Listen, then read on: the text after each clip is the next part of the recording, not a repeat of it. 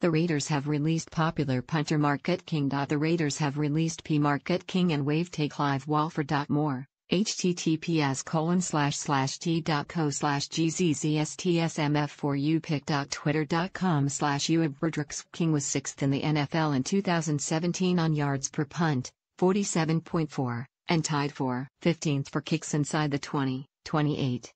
He was named second team All Pro by the Associated Press in 2016. King signed a five year, $16.5 million deal in 2016 and had three years remaining on his contract. The punter has been a popular player with the Raiders for several years now and has a loyal following on Instagram with more than 350,000 followers. Oakland also waived tight end Clive Walford.